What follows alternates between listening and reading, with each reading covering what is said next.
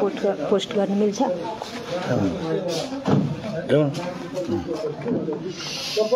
विशेष गरी म पेन्सन पेन्सन पीडित शिक्षक समूह अन्तर्गतको कुरा राख्न चाहन्छु।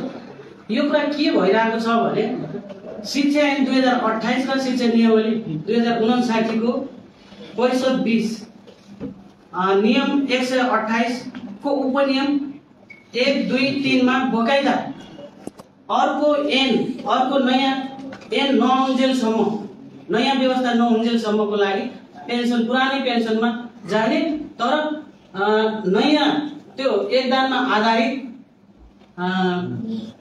फन्ड तयार गरिसकेपछि मात्रै त्यो नेपाल राज सरकारको राजपत्रमा प्रकाशन भइसकेपछि मात्रै एकदानमा आधारित शिक्षकहरूको निश्चित नेपाल सरकारले तोकेको निश्चित रकमको आधारमा एकदानको आधारमा जाने भन्ने प्रश्न छ। तर त्यो ऐन आएकै छैन। खसी काटेकै छैन झोल खाने तयारी भने जस्तो। त्यो ऐन आएपछि मात्रै एकदानमा आधारित हुने हो। तर अहिले त्यो ऐन आएकै छैन। नआउँदै हामीलाई चाहिँ हामीलाई चाहिँ निजामतीको घानमा हाल्यो। निजामतीको के भइदियो भने निजामतीको दुई हजार चौध पचहत्तर बाह्र चारमा चाहिँ त्यो ऐन आयो। चारमा है। उहाँहरूको ऐनको आधारमा शिक्षकलाई शिक्षकले पनि त्यही आधारमा पेन्सन गर्ने भनेर अस्तिको उहाँहरूले सम्झौता गर्नुभएको छ। त्यो निजामतीको नियमावली त हामीलाई लाग्दैन। हाम्रो त छुट्टै नियमावली छ। हाम्रो छुट्टै शिक्षा ऐन छ। हाम्रो ऐन पारित भइसकेपछि पो त्यो हुने हो त। तर उहाँहरूको के अरे निजामतीको ऐनमा हामीलाई दाँदेर गरिने हो भने के हामीलाई निजामती सरहको सेवा सुविधा हुन्छ? यो विषयमा ल सरलाई रोकियो अब धन्यवाद। अनि पर्साका साथीहरूले अब यो एक एक गरी भन्दा छैन। केही सुझाव केही छ कि के छ सरहरूको छोटो रूपमा? एकजनाले नमस्कार म श्याम घिमिरे पर्सा जिल्लाबाट राज शिक्षक सङ्घर्ष समिति पर्साको जिल्ला अध्यक्ष। अब हामी चाहिँ शिक्षक महासङ्घसँगै आन्दोलनमा थियौँ तर महासङ्घले धोका दिएर गइसक्यो।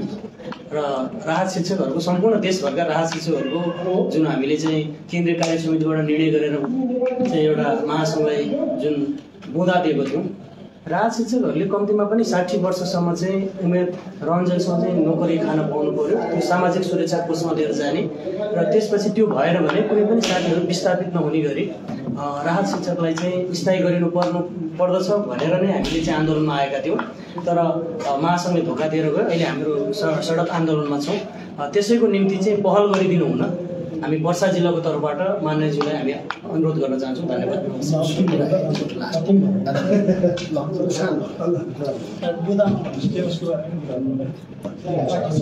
बुदामा छोटकरीमा है लामो समय नभएर नमस्ते म मेरो नाम गोविन्द बहादुर ढाँट। ढाँट भन्ने थर सुन्नु भएको छैन होला नहाँस्नु होला। त्यो ढाँट पालबाट बिग्रेर ढाँट भएर छ कि? बझाङ जिल्लाको सुनगुडा भन्ने ठाउँमा बस्छु म। र ठिक हो अहिले कञ्चनपुरतिर छु। मान्यज्यू र मेरो जिल्ला एउटै हो होइन?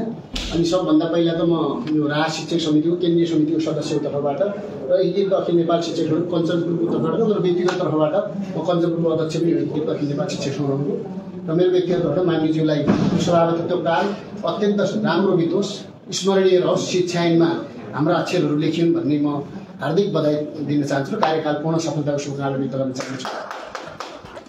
योभन्दा पहिला पनि उहाँ वनमन्त्री हुँदाखेरि पनि ऐतिहासिक काम गर्नुभएको थियो। बजाइ जनताको मन छुनु भएको थियो त्यसकारण पनि फेरि गठबन्धन हुँदा समाजवादी नेकपा उपयुक्त समाजवादीबाट उहाँले जित्नुभयो। बजाइ जन ब- बजाइ जनताले अत्यधिक बहुमतका साथ विजय दिएर विजय बनाएर अहिले सभापति जस्तो गरिमा आसीन हुनुहुन्छ सरहरूले धेरै विषयवस्तु राखिसक्नु भएको छ। म धेरै कुरा गर्न चाहन्न। खास गरिकन यो करिकुलम र उहाँसँग पल्ट पल्ट हामी बस्ने पनि छौँ छलफल गर्नेछौँ पछि पनि लबिङका विषयहरू रहनेछन्। सरहरूले उठाएका विषयहरू महत्त्वमा छन्। मान्य सभापतिज्यूले महत्त्वमा ढङ्गले लिनुहुनेछ र धेरै साथीहरूले मलाई पनि के भन्नुभएको छ भने तपाईँको यार बझाङ जिल्लाको मान्छे हुनुहुन्छ उहाँ अत्यन्त राम्रो हुनुहुन्छ भव्य हुनुहुन्छ धेरै साली हुनुहुन्छ सबैलाई महत्त्व दिनुहुन्छ भन्ने बुझिया छौँ। तपाईँहरूले लबिङ गरिदिनु पऱ्यो कोर्डिनेसन गरिदिनु पऱ्यो भन्नुभएको थियो। अस्ति पनि त साथीहरू मान्यजीलाई भेट्नु पनि आउनु भएको थियो। मसँग कोर्डिनेसन पनि भएको थियो। त्यसो भए हुनाले अब यसलाई सिरियसली लगेर कार्यक्षेत्र अधिकारभित्र सहित र महासङ्घ कुराहरू साथीहरूले राखिसक्नु भएको छ म दोहोऱ्याउन चाहन्न। अब यसलाई कसरी हल गर्न सकिन्छ? हजुरहरूले चाहिँ आइडिया सहित भनौँ न विचार सहित जसरी हामीले बझाइ जनताले त्यसरी जसरी माया गर्यो देशले माया गर्ने गरी उचित निर्णय लिनुहुनेछ भन्ने विश्वास साथ मेरो भनाइ टुङ्गिन्छु धन्यवाद। सरहरूलाई धेरै धेरै धन्यवाद। धेरै कुरा राख्नुभयो। मै- मैले पनि यो बिचमा धेरै कुरा बिच बिचमा राखि पनि सकेको छु। अहिले सरहरूलाई तपाईँहरूको जो आफ्नो यो अहिलेको शिक्षा ऐनसँग जो विद्यालय शिक्षा ऐनसँग तपाईँहरूले धेरै चासो चिन्ता राख्नुभएको छ। केवल यो आफ्नो पेसा मात्र होइन सिङ्गो शिक्षा जगतलाई अथवा विद्यालय शिक्षालाई कसरी राम्रो बनाउन सकिन्छ भनेर तपाईँहरूको जिम्मेवारी नै हो त्यसमा लाग्नु पनि भएको छ। अब हामी के चाहन्छौँ भन्दाखेरि अहिलेको देशको सबै अवस्था हेर्दाखेरि हामीले यो कमजोर रहेको क्षेत्रलाई कसरी अरूभन्दा राम्रो बनाउने भन्ने बारेमा स्वाभाविक सोच्नु पनि पर्नेछ। तर अहिले कतिपय अवस्था सरकार किन यस्तो गर्दैछ त भन्दाखेरि त कतिपय रूपमा अवस्था अलिअलि गम्भीर पनि छ। प्रधानमन्त्रीज्यू वास्तवमा यसो हेर्दाखेरि सबै कुरामा हुन्छ भन्नु त भन्नुहुन्छ तर अवस्था कस्तो देखियो भन्दाखेरि चाहिँ त अहिले हाम्रो बजेटको अवस्था हेर्दाखेरि पनि हामीले जसरी शिक्षाको बजेटलाई बढाउनुपर्छ भनेर माग त गऱ्यौँ। त अहिले देशको अवस्था कस्तो भन्नुहुन्छ भने पैँसठी प्रतिशतको हाराहारीमा साधारण खर्च हुँदो रहेछ। पैँसठी प्रतिशत साधारण खर्च। अनि सत्र प्रतिशत त्यसपछि गएर यो वित्तीय व्यवस्थापन भन्छ। वित्तीय व्यवस्थापन भन्नाले यो ऋण सिण बुझाउने ब्याज बुझाउने आदि उदि गर्नेमा सत्र प्रतिशत हुने भयो। अब पैँसठी र सत्रले कति भयो? बयासी जस्तो हाराहारी पुग्यो होला। विकास खर्च पनि त्यहीको हाराहारी हुने भयो। विकास खर्च। अनि तपाईँले देख्नु भएको छ विकास खर्च फिफ्टी पर्सेन्ट पुग्दैन भन्ने कुरा पनि समाचारमा आइराखेकै छ। यसले गर्दाखेरि कस्तो देखिँदो रहेछ भने त्यो सत्र खरबको बजेट ल्याउँदा सत्र खरबको बजेट ल्याउँदाखेरि अहिले विकास खर्च भन्ने हो भने त्यो सामाजिक सुरक्षाभन्दा पनि कम हुँदो रहेछ। सामाजिक सुरक्षा भत्ता जो छ नि अहिले विभिन्न क्षेत्रको त्यो दुई खरबको हाराहारी खर्च हुँदो रहेछ। दुई खरबको हाराहारी विकास खर्च त्यति नपुग्ने हो अब यो हाम्रो अन्य अवस्था। अनि हामीले अहिले बाइस खरबको हाराहारी पुगेको रहेछ त्यो यो ऋण आन्तरिक ऋण बाहिर ऋण गर्दाखेरि बाइस खरब। त्यो बाइस खरबको त हामीले त ब्याज त सबै बुझाउँदै जानु ऋण तिर्दै जानुपर्छ। प्रति वर्ष हामी ऋण थपिँदैछ अहिले हाम्रो। प्रति वर्ष। यो एउटा अलिकति समस्याको विषय पनि छ। त्यसैले गर्दाखेरि हामीले अब यो यी सबै कुरालाई हामीले एकदम राम्रो अलिक खुसी सबैपूर्वक यो सङ्घीय लोकतान्त्रिक गणतन्त्र सङ्घीयता भएर लिएर आयौँ। यसमा खर्चको व्यवस्थापन धेरै हुन लाग्यो अहिले। तपाईँले यसो हेर्नुहुन्छ भने हामी त्यो बेला एउटा सभामुख भए पुग्थ्यो अहिले सा आठवटा सभामुख हुने भयौँ। हुने भयो नि त होइन? आठवटा प्रदेश प्रमुख आठवटा उपसभामुख अनि मानिएको सङ्ख्या पनि अहिले आठ सय चौरासी छौँ हामी। आठ सय चौरासीजना मान्ने छौँ कि हामी? अनि स्थानीय तहका पहिले एकपटक सुरुवात गरेका थियो त्यो इसिटीलाई पाँच सय रुपियाँ दिन सुरु गरे जस्तै गरिकन गाउँपालिकाका अध्यक्षलाई हजार कि पन्ध्र सय दिन सुरु गरेका थियो होइन? अहिले गाउँपालिकाका अध्यक्षलाई कति छ भन्नु भने सामान्यतया उनको खर्च सबै दियो भने एक महिनामा एक डेढ लाखले पनि पुग्दैन। गाडी सबै खर्च सबै हेर्ने हो भने दुई ढाई लाख जति खर्च होला मान्नुहोस्। यति धेरै खर्चको मात्रा बढ्यो कि हाम्रो? यो सबै खर्च हाम्रो साधारण जस्तै शिक्षामा पैसा किन कम भयो त भन्दाखेरि यही खर्च बढ्यो कि हाम्रो। नभए शिक्षा स्वास्थ्य कृषि अलिक बढी ध्यान दिनुपर्ने क्षेत्र थियो नि त। शिक्षा क्षेत्र नै राम्रो भएन भने हामीले शिक्षामा क्षेत्रमा ध्यान दिएर हाम्रा बालबालिकालाई अलि राम्रा सम्पन्न गर्न सक्ने क्षमता भएका मान्छे उत्पादन गरे भए त यो हालत हुने थिएन नि त। त्यो क्षेत्र सुध्रिन्थ्यो त अरू त सबै सुतिहाल्यो नि। अन्त विद्यालय शिक्षा भनेको हामीले बाह्रसम्म भन्यौँ अहिले। यो बाह्रसम्मका विद्यार्थीहरू अठार उन्नाइस वर्षसम्मका मान्छे एक ठाउँमा लाइनमा लाग्यो भने त देश त त्यसै बन्यो नि त। त्यसैले अहिलेको हामी सबैको चिन्ता र चासो के हो भन्दाखेरि विद्यालय शिक्षालाई कसरी राम्रो बनाउने भन्ने नै हो। यो विधेयक जसरी यहाँ आएको छ सरहरूलाई म के अनुरोध गर्छु भन्दाखेरि यो यस्ताको यस्तै पास हुँदैन। अझ तपाईँहरूलाई मेरो सुझाव के हो त भन्दाखेरि चाहिँ त यो विधेयकका प्रत्येक दफा दफामा छलफल गर्नका लागि सुझाव दिनका लागि यो जुन बेला हामी विधेयकमाथि व्यापक छलफल गर्छौँ नि हो त्यो बेला पनि तपाईँहरूको बढ्ता लबिङ तपाईँहरूको कन्भिन्स गर्ने तपाईँहरूले अरूलाई सम्झाउने सबै कुरामा किनभने यो यो त हामी सबैको साझा सम्पत्ति हो। यो साझा सम्पत्ति हो शिक्षकका समस्या पनि हाम्रा समस्या हुन् भोलि विद्यार्थीका समस्या अभिभावकका समस्या सबै समस्या पनि हाम्रा समस्या हुन् नि त्यसो भने त्यसलाई त्यसरी ध्यान दिनका लागि र तपाईँहरू अब यो मैले अब हुन त सरकारले भन्ला मैले आफैले तपाईँहरू सबैलाई काठमाडौँ बस्नुहोस् त भन्दिनँ तर प्रतिनिधिमूलक ढङ्गले तपाईँहरूको पनि यहाँ जिम्मेवारीमा हुनुहुन्छ तपाईँहरू पनि यहाँ बस्नुहोस् कुराकानी गर्नुहोस् छलफल गरौँ। र यो विधेयकलाई अन्तिम रूप दिन धेरै समय लाग्छ। धेरै समय लाग्छ। किन भन्नुहुन्छ भने यो एउटै तपाईँहरूको चिन्ता त एकातिर छ भन्यो भने सिङ्गो यो कस्तो शिक्षा विधेयक बनाउने कस्तो शिक्षा नीति बनाउने यसले कसरी राम्ररी यो विद्यालय शिक्षालाई कसरी व्यवस्थित गर्न सक्छ भन्ने त हामी त सबैको साझा पाटो छ नि त्यसमा त। अहिले भन्नुहुन्छ भने महासङ्घको आपत्ति कस्तो छ तपाईँले देख्नु भएको छ। गाउँपालिका महासङ्घ। नगरपालिका महासङ्घहरू उहाँहरूका पनि छुट्टै कुराहरू छन्। त्यस्तै गरी संविधानका कुराहरू पनि छन्। यी सबै कुरामा ध्यान दिनका लागि मैले अहिले सरहरूलाई यति भन्न सक्छु कि तपाईँहरूलाई अहिले पनि हामी विभिन्न राजनीतिक दलका प्रमुख सचेतक छन् संसदमा। उहाँहरूसँग पनि लबिङ गर्छौँ। कमसेकम साथीहरूका कुरा सुन्नुहोस् भन्छु। र पहिलो कुरा भनेको तपाईँहरूलाई महासङ्घसँग फेरि सँगै आबद्ध हुने तरिकाको वातावरण पनि हामीले मिलाउनु पऱ्यो हामी सबै ठाउँबाट त्यो कुरा गर्छौँ।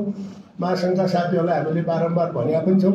आज पनि कुरा गरेका थियौँ चाँडोभन्दा चाँडो यो विशेष गरी राज शिक्षकका प्रतिनिधिज्यूहरू इसिडीका साथीहरू र त्यसपछि गएर विद्यालय कर्मचारीका साथीहरू सबैसँग चाँडोभन्दा चाँडो बसेर तपाईँहरू मार्फतै एकै ठाउँमा जोड्नुहोस् सबैलाई। तपाईँहरू अलग हुने उहाँहरूलाई अलग गर्ने काम नगर्नुहोस् र तपाईँहरूबाट भएका कमी कमजोरी छन् भने पनि त्यसलाई सँगै जाने वातावरण मिलाउनका लागि भएर भनेका पनि छौँ।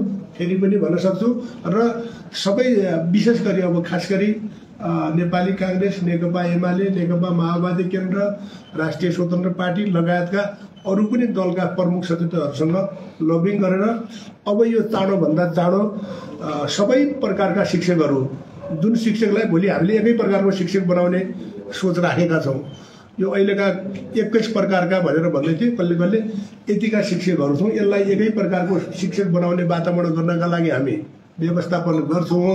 त्यसैका लागि हामीले महासङ्घका साथीहरूसँग पनि त्यही कुरा गर्छौँ र राजनीतिक दलका नेतृत्वहरूसँग पनि हामीले त्यही कुरा गरेर चाँडोभन्दा चाँडो विद्यालय पठाउने यहाँ प्रतिनिधिमूलक ढङ्गले बस्ने साथीहरूले यहाँ बस्ने वातावरण गर्नका लागि म एउटा अब यो जिम्मेवारीका हिसाबले पनि तपाईँहरूलाई म यही कुरा राख्न चाहन्छु।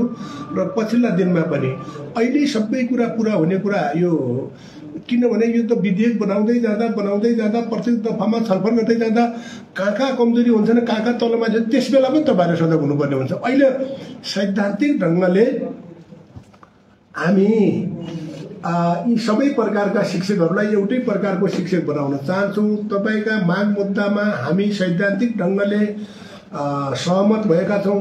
अस्ति पनि भनेकै छ यो अर्थतन्त्रले भ्याउने अवस्था कसरी रहन्छ?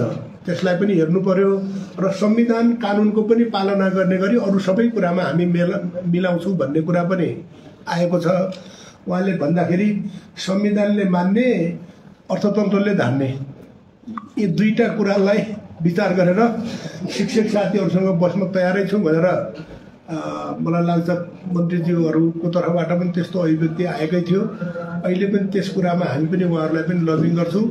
र सकभर चाँडोभन्दा चाँडो तपाईँहरूलाई घर पठाउनका लागि हामी आफ्नो ठाउँबाट पहल गर्नेछौँ। अब म यो अ, सामान्यतः अघि तपाईँहरूले नै हामीले नै कोअर्डिनेसन गर्ने हो कि भन्ने थियो। हामीले यसबारेमा अस्ति कार्यवाहक प्रधानमन्त्री सबैसँग कुराकानी गर्दाखेरि र यहाँ पनि दलका नेताहरूसँग गर्दाखेरि अहिलेसम्मको हाम्रो अभ्यासले यो सबै ठाउँको के हो भने नियम भनेको परम्परा भनेको सरकारसँगै गर्ने हो। सरकारसँगै गर्ने हो त्यसैले अस्ति हामीले गृहमन्त्रीज्यू राख्यौँ अनि शिक्षा मन्त्रीज्यू राख्यौँ अरूहरूसँग राखेर सहमति गरेका हौँ। र हामीले पनि पहल गर्ने भनेको तपाईँहरूलाई पनि अरूहरूलाई पनि एकै ठाउँमा ल्याएर भोलि सरकारसँगै सहमति गर्ने हो। सरकारभन्दा छुट्टै अब यो दलीय हिसाबले अब हाम्रो राजनीतिक दलहरूले अथवा यो संसदले अहिलेसम्म त्यस्तो गरेको भन्ने हुँदैन। हाम्रो काम पनि तपाईँहरूकै माग मुद्दामा सरकारलाई नै हामीले एक ठाउँमा आउनका लागि पहल कदमी गर्ने हो।